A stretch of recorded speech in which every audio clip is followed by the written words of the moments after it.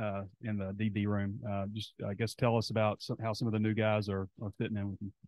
Um, so we uh, got a few new guys. One, um, Jaheim Singletary, uh, has been really impressive these uh, first four days. Uh, getting the defense down, he's flying around, communicating, fit in with the rest of the guys. Same with Keon Stewart, another new guy that we have. Just getting him acclimated, and he's doing a good job. Impressive player, both of those guys new. Uh, when you talk about from a freshman perspective, uh, TJ Metcalf, uh, he continues to impress. Uh, if you walked on the field, you wouldn't even know he's a freshman.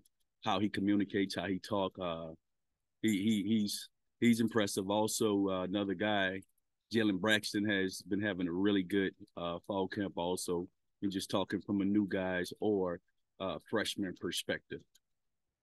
Singletary specifically, he was a really big time recruit when he first went to Georgia and stuff. Just looking at him, he might be your tallest defensive back. Looks like he could be the quickest feet too. I mean, just what what kind of talent is, is he, and and what does he have to do to, uh, I guess, get on the field for you? Um, all we tell him continue to uh, learn the defense and uh, communicate. He's a guy. You said he's been impressive. He he's to get on the field, keep doing what he's doing, getting better. Uh, keep on elevating, right? Because if you're not getting better, you're getting worse. And over these first four days, he has been getting better every day. Uh, so keep on growing, and he'll he'll be a, a really good player, just as you said. Walcott missed the spring. Just what have you seen from him the first four practices of fall camp? Uh, another impressive guy. Um, you can tell he's played a lot of snaps before. Uh, when he communicates, uh, he's loud. He uh, is confident. He flies around. He's a hitter. He can cover. Uh, Walcott L is he, he's he's a great addition. Glad to have him back.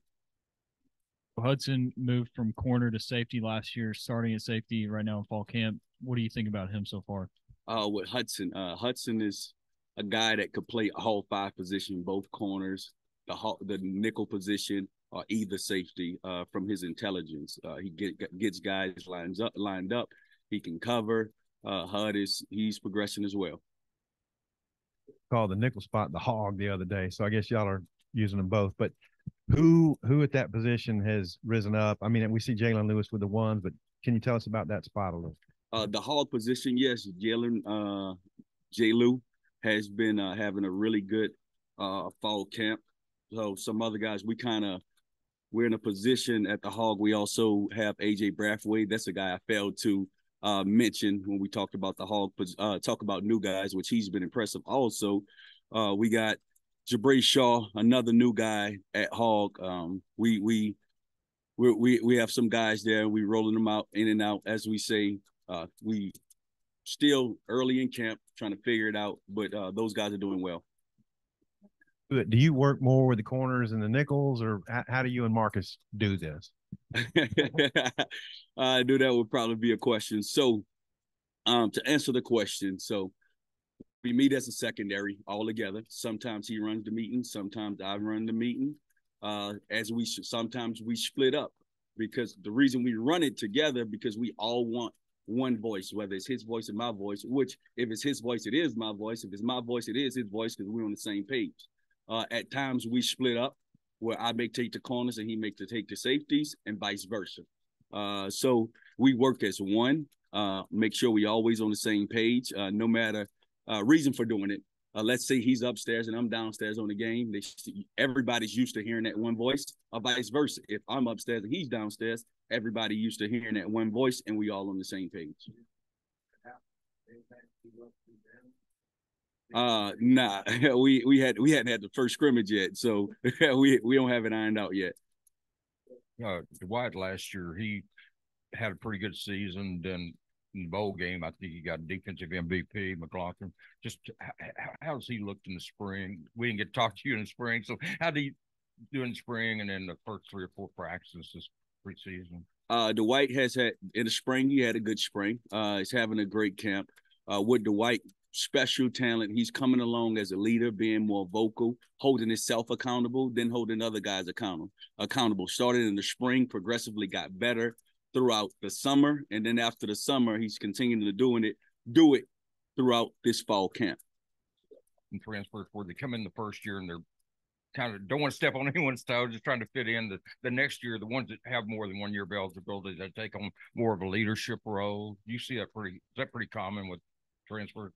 Uh, the transfer portal is probably what three or four years old right now. So we we all figuring it out. But yes, it's it's typical. You're getting to a you're going to a new environment and you don't want to step on anyone's toes. And then now you get a little bit more comfortable. The second year, you've been through a spring, you've been through a fall camp, and they know you better, and it naturally starts to happen. I mean, Landon Jackson was. They were talking about Landon Jackson being that way the other day. It's like I brought that up. Just you know, he came in the same time he did. Mm.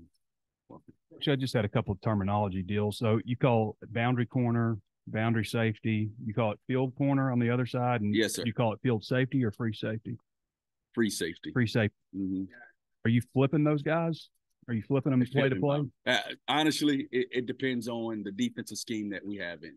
It depends on the defensive scheme. So. I mean, I just think with like offenses hurrying up, sometimes it might be hard to flip corners and stuff like that. yeah, Um, of course you game plan for all those type of things. So you, guys are four practices in. You go until Wednesday, and you take some time off. Uh, is there any thoughts to like maybe switching some things up, trying some guys at different spots, maybe a, a corner to a, a nickel or safety to nickel or corner to safety, any of that kind of stuff? Of course, uh, that always happens because you put in dime packages, you put in quarter packages, and you have to find the best five or the best six when you talk about dime. So you're always trying to figure out, let's always get the best five or six on the field together. And uh, so you could put the best, you, you could be, put your best foot forward. Uh, R.J. Johnson and Christian Ford are they safeties? They're safeties, yes. So uh, just by my count, I think you got like nine players working over at cornerback. Um, is that and so that would put like what eighteen guys over at uh, at safety nickel? Is that about the ratio you Yeah. want? Or So Coach Pittman, like even at practice, he does a good job of we have a, something called two spot, and it worked for us again because we have two full time secondary coaches, and we split the secondary up. One go on this field, so and so, and that always mix and match. Uh, it helps with the development of the team, right? Because everybody's getting reps. If we always had one field, well, of course, people are watching and not learning. And, and, and through my experience playing and coaching, the best way to learn is by doing it. So when I'm making the mistakes or I'm doing it the correct way as a player, I am feeling it and seeing it's like, oh, I got it. Oh, oh yeah, coach, I see what you're saying. you know, I know you weren't here last year, Hudson, you know, a lot of times he was in the right spot, but he had trouble, you know, making a tackle. Sam talked about that the other day. He's added about 12 pounds. I know you guys aren't tackling to the ground yet in practice. Just kind of, what have you seen from Hudson with, with that weight? Maybe if you looked at film last year, how he might be different. Uh, Hudson is playing stronger. Uh, he has gained weight um, and corrected some technique errors within tackling. Um, he has gotten better with angles to the ball. Uh, we always talk about near footing it, near shoulder. Uh, he has gotten a lot better with that. And, then, you know, obviously, you know, we all know pass defense was, was an issue last year. You got to look at the stats. I know it's early, you spring and a few fall camp, but what, what sense do you have about how the pass defense is going to be improved and, and why? Um one way one way we uh plan to improve it uh, is within the the camaraderie camaraderie and making every we meet all together because one issue that you see around the country not specifically last year here but around the country period if you have issues within the pass game busted coverages is because of communication all right? And that's the reason we do the things that we do myself and coach woodson having guys together and hearing both voices. So now communication is not an issue. Pursuit to the ball is not an issue. That's two ways. Communication not busting. One way, communication not busting coverages and getting to the ball. Arkansas has gone to four down linemen. Obviously, do you like that better as a secondary coach? Oh, I, that probably would be a question for uh, Coach T. Will. Whatever coach wants to do, I'm with it. If it's four down, if it's three down, if it's just three, three, five, whatever it is, I'm all for it. I support my coordinator. I support my head coaching, whatever it is. As were where you weren't, you weren't here, but 131 out of 131 last year in passing yards surrendered on defense. Did you know that when you took the job? And what what's kind of been the thought with you guys, you and Coach Woodson and uh, Coach Williams, um, just about turning that thing around? Because Coach Woodson, I know when he got to Florida State, one of Mhm. the worst pass defenses in the country the year before, and last year I think they were fourth nationally. um, myself, Coach Woodson, and the guys, we embrace the challenge. uh, we embrace the challenge and becoming better. Uh, we're always hard on them.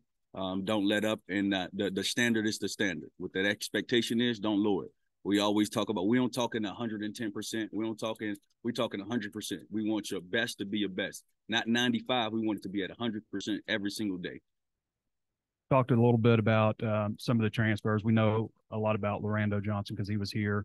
Uh, but could you touch a little bit more on on on Keon Stewart, what he brings to the table, and and AJ Brathwaite, you know, what kind of role you might see for him also? Uh, both of those guys, uh, Keon and AJ, bring something to the table with their vets. They have a lot of snaps under their belt. belt. Uh, Keon played as a true freshman, started as a true freshman at TCU.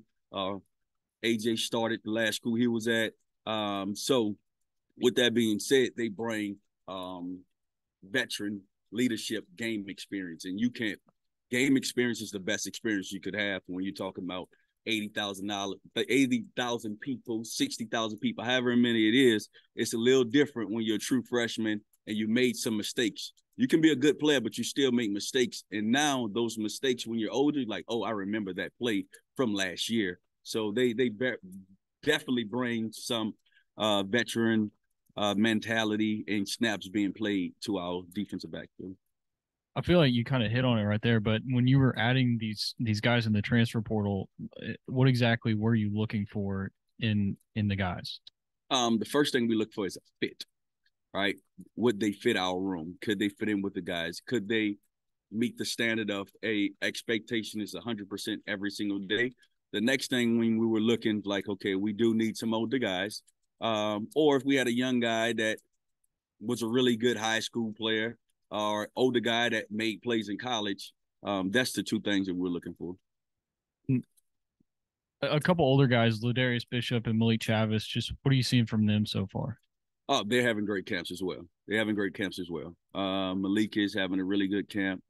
Um, communication, um, getting to the ball, tackling, covering. Uh, Malik is doing well, and Day Day uh, he's progressing with technique things and uh, embracing the challenge as well to get better. So is the group. Jalen Braxton, what is it about his skill set that you guys like that he's in the two deep at corner? Jalen Braxton can fly. Uh, he has really good change of direction. Um, he's a guy. He's mature and he wants to be a really good player. Uh, he has all the potential in the world. He uh he has a shot to be a good player in this conference, a really good player in this conference with us, Sam Pittman has floated the idea a couple of times about if if you feel like you're good enough at corner, that maybe one of those guys can go over and help at hog slash nickel. And he's brought up Snacks' name. Uh, how has that progressed any further yet? Yes, uh, he's been playing a little hog, but our mindset for the secondary period is kind of like get the best five on the field, and that's what the head coach mindset is uh, in meetings. Like, hey, who's the best five? Let's get the best five on the field so we can put our best foot forward. You don't want to have one of your better guys on the bench because he's stacked behind whether it's a safety or he's stacked behind the corner. Let's get the best five on the field. Recruiting question. You spent time uh, San Antonio. You got obviously ties to Louisiana. Spent time at Florida last year. What do you view your role as a recruiter, like territorial, and and what do you think makes a good recruiter? Um, the thing that I feel as though make a good recruiter is relationships. So um, with anything, when you get the initial contact, you don't you're not asking them to trust you. Just want to hear for them to listen to you. And now the relationship is be who you are, say who you are, right? So if I say one thing and doing something opposite, one is not matching, right? So always be true to who you are uh, and stay consistent. Do what you say you're gonna do. All right. Um, from the aspect of area, um, so again, I did spend time in Texas. Uh, I spent time I've, by birth in Louisiana, uh, and I also worked at a school in Louisiana. But uh, so that does help from a relationship standpoint, um, knowing people um, from a high school area standpoint, coaches. Your area is pretty much Texas, Louisiana as prime recruiting areas for you? I view my area wherever Coach Sam Pittman says it, it is to go get a defensive back you to the other side of the ball, obviously you see these wide receivers quite a bit. Is there anybody that's that's giving you guys some trouble? Um, one of the guys that's doing well, I think Armstrong. Uh, he he's a good player. Um, Jay Jay Wilson, I always call him my little cousin. have the same last name. He's doing well. Uh, we we we got a good, pretty good group of receivers. Um, I don't think a specific guy, but I know the group is doing well. What are the differences or improvements that you've seen in Nudi's play from spring until now? And then what what did you see in his offseason work? Um, I think Nudie is straining more, um, getting to the ball from a technique standpoint. He is getting better. The different things that we talk about and work on, and I think he's trying to get better, whether it's at home, whether it's in a weight room, uh, or at practice. He's asking educated questions on what he should do in certain situations. Uh, I think Nudie is uh, uh, the white is coming along. Looks like it's pretty competitive in practice between the receivers and the DBs. That's always good because if one unit's whipping the other consistently, that's that's not good. But what what have you seen? You know, just in these first few practices between the receivers and, and the DBs, the competition and stuff. Oh, exactly what you say. It's competition every day. All right. And and when you talk competition every day, it is a problem if you just which hopefully would transition to translating the game if we're just dominating them every day. Uh, but it's good comp they're making plays, we're making plays. Um, and that happens. We're on day four. We want to get to a point, hopefully, where uh, we're making all of the plays, but at the end of the day, we're still a team. We're all together. You're making all the plays. That's not good though, it? I mean, for for the SEC schedule. I mean, and and, and then you know, Nudie, I we, we asked him. I don't know how how much consideration he gave to maybe coming out for the draft, but I'm sure it was a, a thought anyway. I would think it's good to see played. Having a guy like him back who's got SEC experience at two schools and is going to a second year here. How how how big was that? Do you think in retrospect? Um, it's similar to the conversation we had about the last guys getting guys that have game rep experience. So when he came in, of course, he came in from another school um, with game rep experience, and he is uh, again continue to develop and making plays and doing well. So